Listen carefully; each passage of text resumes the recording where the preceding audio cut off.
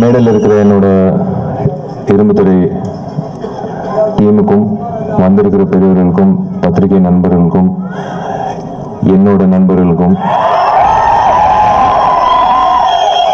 உங்க எல்லோருக்கும் நான் என் வணக்கத்தை தெரிவிச்சுக்கிறேன். உட்காந்துரு நீங்க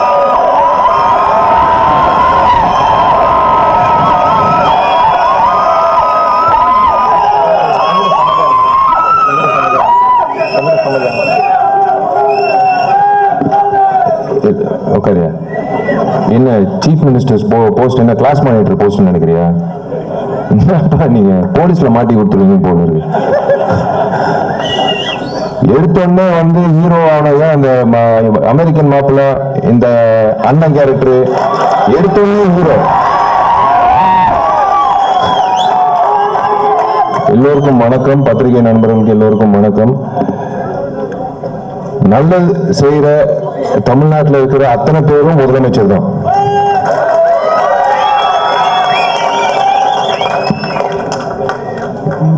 முதல்ல உங்க எல்லோருக்கும் நான் நன்றி தெரிவிச்சுக்கிறேன். இந்த இரும்புத்திரை திரைப்படம் வந்து எனக்கு ஒரு முக்கியமான திரைப்படமாக அமையும்னு நான் நம்பிக்கை வைத்தது வீண் போகல. இன்னி வரைக்கும் இந்த பயணம் தொடர்ந்துட்டே இருக்கு.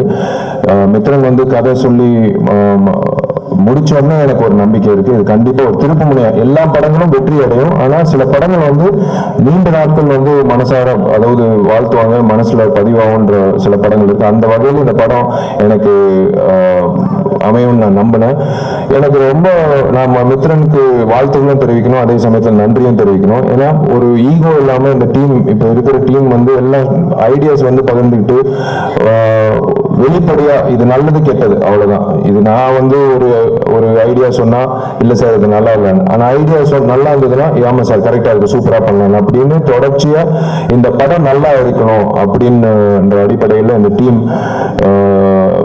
முதல்ல மித்ரனுக்கு நான் நன்றி தெரிவிச்சுக்கணும். யுவன் என்னோட கூட பிறந்த சகோதரர் மாதிரி தான் நான் இன்னைக்குமே நான் பார்ப்பேன். ஒவ்வொரு வாட்டியும் படம் மூலிமா யுவனை சந்திக்கும் போது நான் கையெடுத்துக்கணும் எப்படியாவது என்னை காப்பாற்றிருப்பான்னு இன்னி வரைக்கும் என்னை காப்பாற்றிட்டு இருக்காப்புல. அதே போல் ரூபன் ரூபன் தான் வந்து மித்ரன் நினைப்பினாப்புல. ஆனால் இந்த மாதிரி ஒரு கதை கேளுங்கன்ட்டு. So I sincerely thank Ruben.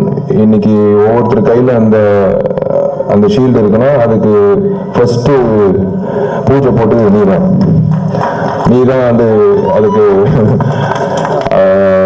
தொடக்கத்தை வச்ச.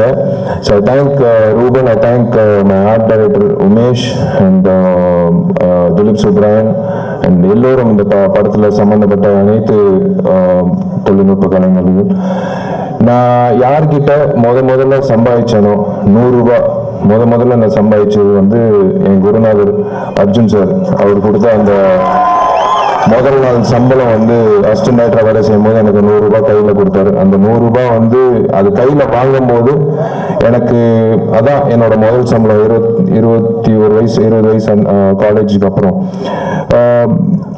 அதெல்லாம் சேர்த்து வச்சு எங்கள் அப்பாவுக்கும் அம்மாவுக்கும் முதல்ல அம்மாவுக்கு ஒரு ஆயிரத்தி ஐநூறுரூவாக்கு ஒரு புடவை வாங்கினேன். அப்பாவுக்கு ஒரு ஷேவிங் கிட் வாங்கினேன். ஸோ அதுக்கு அவருக்கு தான் நான் முதல்ல நன்றி தெரிவிச்சுக்கணும். ஏன்னா எனக்கு ஏன்னா ச- ஒவ்வொருத்தருக்கும் சம்பாதிக்கணும்னு ஒரு ஆசை இருக்கும். ஆனால் அந்தந்த காலகட்டத்தெல்லாம் முடியும்னு சொல்லுவாங்க. ஸோ எனக்கு முத முதல்ல சம்பாதிப்பு ஏற்படுத்தி கொடுத்த அர்ஜுன் சாருக்கு வந்து நான் நன்றி தெரிவிச்சுக்கணும். இந்த படம் இவ்வளோ பெரிய வெற்றிக்கு காரணம் விஷால் அல்ல விஎஃப்எஃப் அல்ல. இது யாருமே இல்லை. அர்ஜுன் சார் இந்த படத்தில் இருக்கிறதுனால தான் இவ்வளோ பெரிய வெற்றி. இது வந்து இது வந்து கண்டிப்பா ஐம்பது நாள் ஓட் ஐம்பது நாள் ஓடலாம். மூணு வாரம் வழக்கம் போல ஒரு படம் ஓடுறது மூணு வாரம் தான். ஆனா அர்ஜுன் சாரோட கதாபாத்திரம் அவர் அவரோட ஸ்கிரீன் பிரசன்ஸ் தான் இந்த இரும்பு திரை இந்த திரைப்படம். நாட் ஒன்லி தமிழ் தெலுங்குலையும் மிகப்பெரிய வெற்றி. எல்லா கேரளா மாநிலத்திலயும் சரி கர்நாடகாலையும் சரி எல்லா மா எல்லா இடத்துலையும் வந்து மிகப்பெரிய வெற்றி அடைஞ்சது. நான் அர்ஜுன் சாருக்கு வந்து என் குருநாதரோடய நான் வந்து க அப்படி கை வச்சுக்கிட்டு சண்டை போடுற அந்த காட்சி என் வாழ்க்கையில் வர நான் எதிர்பார்க்கவே இல்லை. ரெண்டு பேர் அப்படியே பார்த்துருக்கும்போது சிரிப்போம். சார் கொஞ்சம் சிரிக்காமல் இருங்க சார். இந்த எனக்கு பயமாக இருக்குது ஒவ்வொரு ஏன்னா ஒவ்வொரு வாட்டி அடிக்கும்போது சாரி சார் என்ன. ஃபர்ஸ்ட் முடியல காட்சியே முடியல. எனக்கு டேட்டு ரெண்டு நாள் தான் இருக்குன்னு சொல்லி அந்த கிளைமேக்ஸ் காட்சியிலேருந்து எல்லாம் எல்லாமே பண்ணிட்டோம். I thank uh, Arjun sir. உங்க எல்லாருக்கும் தெரியும். எல்லாரும் சொன்ன மாதிரி தான் ஒரு ஒரு கதாநாயகி கல்யாணம் ஆயிடுச்சுன்னா அவ்வளோதான் ஹோம் மேக்கர் வீட்லயே இருக்கணும் இனிமேல் தொடர்ச்சியாக நடிக்க முடியாது. நடித்தாலும் படம் ஓடாது. அந்த மாதிரி சென்டிமெண்டலா இருக்கும். எல்லாத்தையும் உடைச்ச சமந்தாக்கு நான் முதல்ல நான் நன்றி தெரிவிச்சது அதே சமயத்தில் நான் வாழ்த்துக்கள் தெரிவிச்சுக்கிறேன். ஐம் ஸோ ஹாப்பி சமந்தா இந்த படத்தில் நடித்ததுக்கு நடித்த அனைத்து நடிகர்களுக்கும் நடிகைகளுக்கும் என்னோட மனமார்ந்த நன்றியை தெரிவிச்சுக்கிறேன். இந்த நான் தான் கேட்டேன். நூறாவது நாள் அப்படின்றது யார் வேணாலும் கொண்டாடலாம். நம்ம வந்து காசு கொடுத்து ஒரு படத்தை ஓட்டி நூறாவது நாள் கொண்டாடலாம். இது வச்சதுக்கு காரணம் என்னோட பெருமையா சொல்றதுக்காக இல்ல உண்மையிலேயே நிறைய பேர் சொன்ன மாதிரி ஷீல்டுன்றது நம்ம ஷெல்ஃப்ல வந்து அந்த விஜயவாயினி ஸ்டுடியோ ஏவிஎம் ஏவிஎம் நிறுவனம் அந்த மாதிரி டைம்ல தான் ஷீல்டு பார்த்துருக்கோம் அப்படின்னு சொன்ன விஷயத்த வந்து அது போக்கி இந்த ஜெனுவனா ஓடின ஒரு திரைப்படத்துக்கு கண்டிப்பா எல்லாருக்கும் அந்த அங்கீகாரம் அந்த எல்லாருக்கும் வந்து மேடையில கூப்பிட்டு அவங்களுக்கு வந்து வாழ்த்துக்கள் தெரிவிக்கணும் அப்படின்றதுக்காக அந்த நிகழ்ச்சி. இப்போ உண்மையிலேயே நூறு நாள் காசு கொடுக்காம நூறாவது நாளும் ஹவுஸ்ஃபுல் எஸ்கேப் தியேட்டர்ல ஹவுஸ்ஃபுல் ஆகி வெற்றிகரமா ஓடின இந்த திரைப்படத்துக்கு இந்த இது இந்த மரியாதை செலுத்தணுன்றது தான் ஒரு தயாரிப்பாளராக என்னோட பொறுப்பு. ஸோ எல்லோருக்கும் வந்து அந்த கேடியம் கிடைச்சது நான் நம்புறேன். ஸோ இல்லா இல்லாவிட்டால் கூட ஆஃபீஸில் வந்து நீங்கள் வாங்கிக்கலாம். இது இந்த என்னோட அதான் நீங்கள் அந்த காட்சி பார்த்துருப்பீங்க.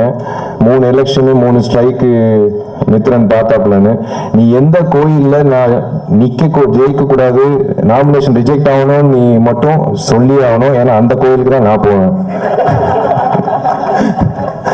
இவன் வந்து உண்மையிலே உட்காந்தான் பாத்தீங்களா? ஆர்கே நகர்ல வந்து நான் நாமினேஷன் தாக்கல் செய்யும்போது.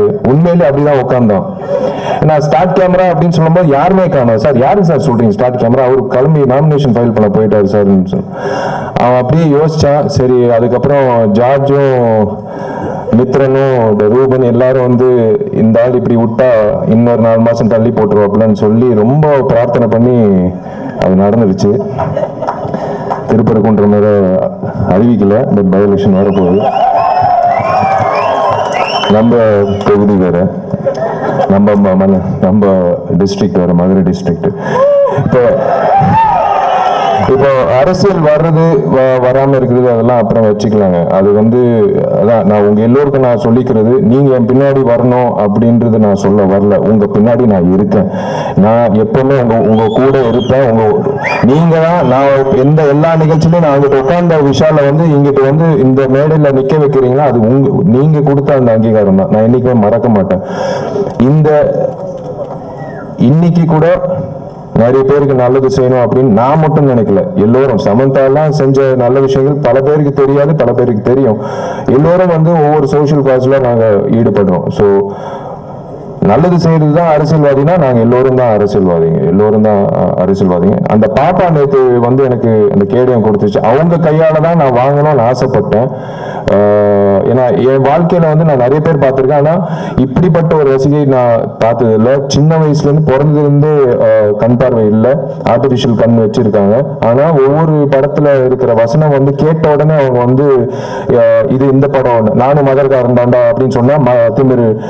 கெட்டவனு சொன்னால் சொன்னா அப்படின்னு சொல்லி ஒவ்வொரு படமும் அவங்க வந்து உள்வாங்கி உள்வாங்கி என் முன்னாடி வந்து அவங்க அம்மா சொல்றாங்க இந்த விஷால் அங்க நிக்கிறாரு. விஷால் எப்படி இருப்பாப்ல உருவம் அப்படி மாநிலமா எப்படின்னு அது எதுவுமே தெரியாது. அவங்க சொல்லி சொல்லி தான் கேட்குறாங்க ஆனா பக்கத்துல நிற்கும் போது எனக்கு வந்து உண்மையிலேயே பிரமிப்பாக பிரமிப்பா இருந்தது.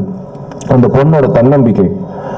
அந்த பொண்ணு அவங்க அம்மா சொல்றாங்க நான் ஒவ்வொரு வாட்டியும் எங்களுக்கு தெரியாதுங்க. அவ வந்து பத்தாம் கிளாஸ் படிக்கிறா பிரெயில் அந்த மூலிமா மூலியமா.